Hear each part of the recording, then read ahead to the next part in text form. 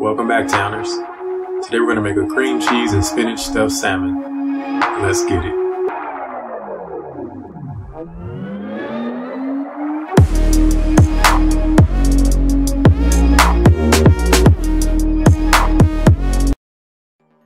Alright guys, to start off this recipe here, we have a bowl.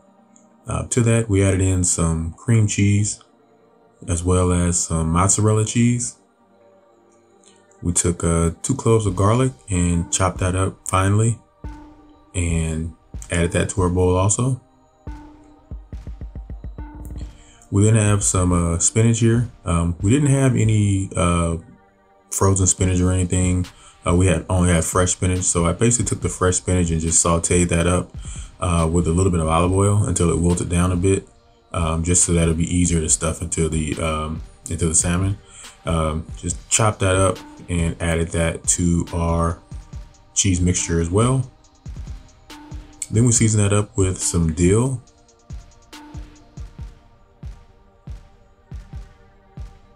As well as some capers. Uh, took out a, about a tablespoon of capers and chopped that up also. Added that to our mixture. Next, we season it up with some onion powder and kosher salt, as well as some black pepper. Then we took a fork and mixed all that up together. Um, wanted to add a little bit of heat to that, so we went ahead and put in some uh, crushed red peppers. I could also put in some of our homies, but um, I decided just just use crushed red peppers this time.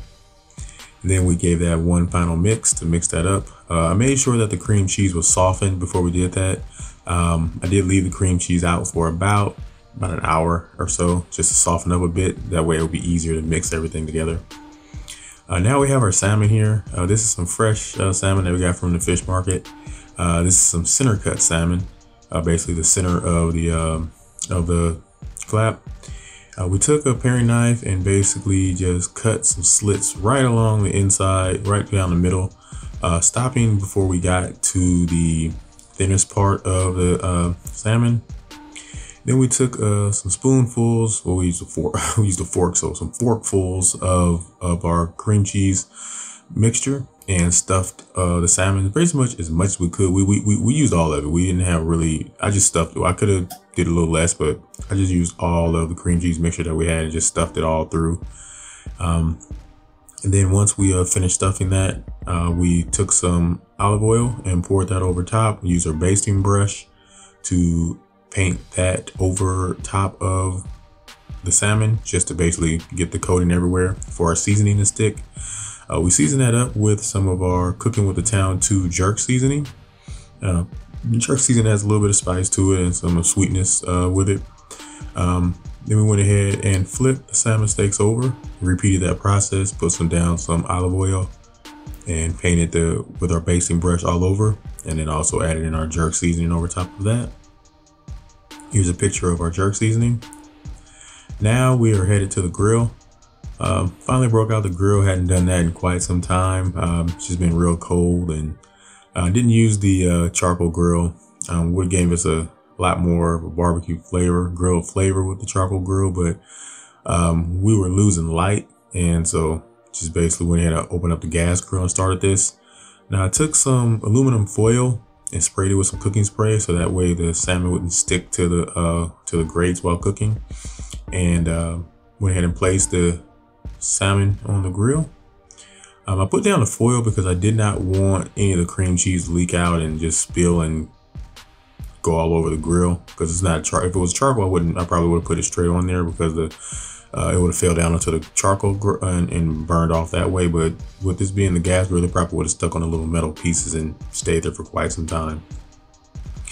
But um, here's a close up of how the steaks look after about being on the 10 minutes. We had this is a four burner grill. We had it on for uh, all four all four uh, pieces, all, all four burners, and it got up to about 400 degrees before we started cooking it. Here's just a close up of it at the 10 minute mark.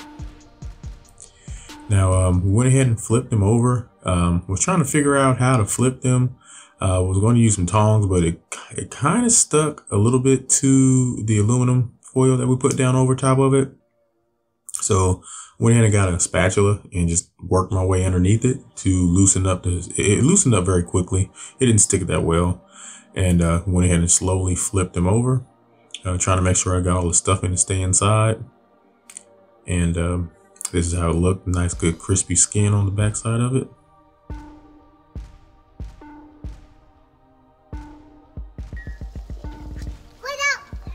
Hey towners, we out here fighting the sun. It's uh, it's, yeah, it's gone. So we sun's gone, but we out here trying to finish up the salmon up. Uh, see,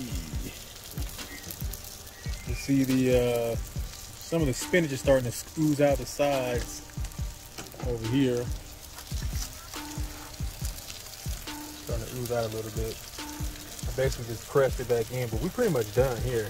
We had about, trying to get up to 145, We're at about 135, 140, so I might pull it right now and let it rest and see what it comes up to. Uh, but we're looking good.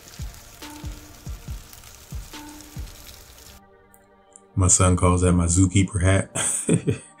but uh, here's a picture of what our salmon steaks looked like after they came off of the grill. Um, once they came off the grill, we did uh, just let them rest for about a good uh, 10 minutes. And then we plated them up. We plated it with some asparagus as well as some salad. Um, the salad is basically a quick, simple salad of uh, romaine lettuce, uh, some onions, uh, cheese, and jalapenos. And just topped it off with some blue cheese dressing. Um, now here we are with a taste test that we had. Um, here's a close-up of our salmon. Uh, you can see it's nice and flaky. Uh, I have some of the uh, cream cheese filling inside of it on little pieces of that.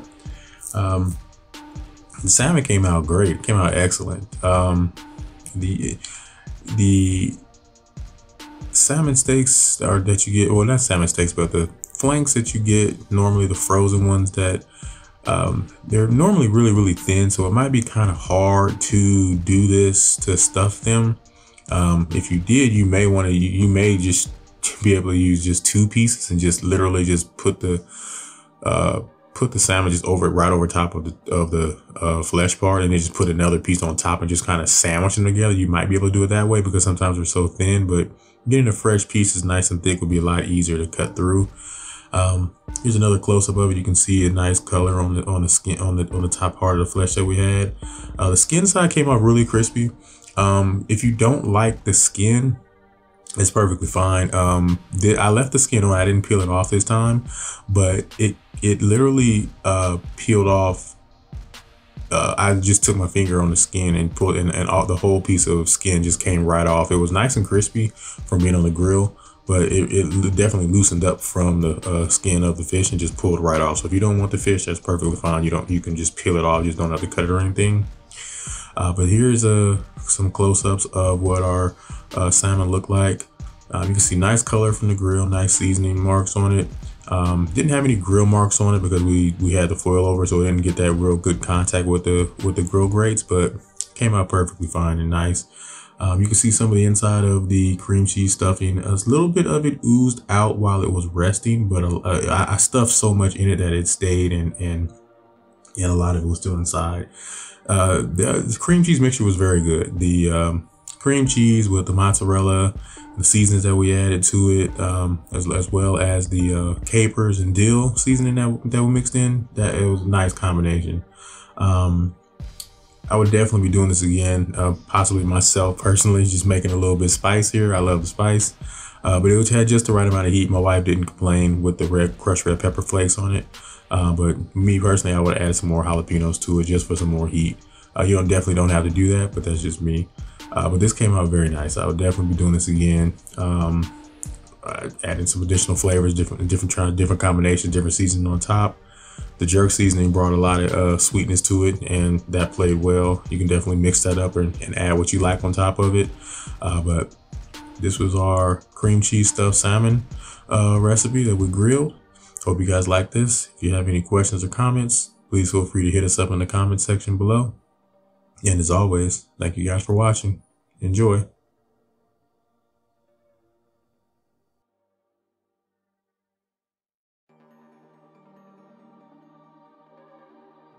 Enjoy. Please subscribe, enjoy. Hey Towners, please like, share, and subscribe. If you have any questions or comments, please feel free to leave them in the comment section. All ingredients and directions are listed in the description box below each video.